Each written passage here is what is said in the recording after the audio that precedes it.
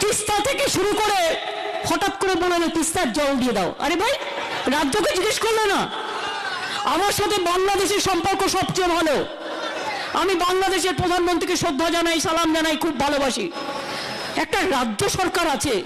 তুমি হঠাৎ গিয়ে বলে আসছো, আমার রাজ্যটাকে বিক্রি করে দেবে? বাবা, অত সস্তা নয় ভাই। অত সস্তা নয়। তিস্তা, উত্তরবঙ্গ কারিস্তা हिस्सा ये आपको याद होना चाहिए আমি তো বলিনি জল দেবো না কিন্তু আমি খাবো তারপরে তো দেবো আমার ঘরে থাকবে তারপরে তো আমি দেবো তাই জিজ্ঞেস করুন ওদের এই এত ফ্লাইওভার কে বানিয়েছে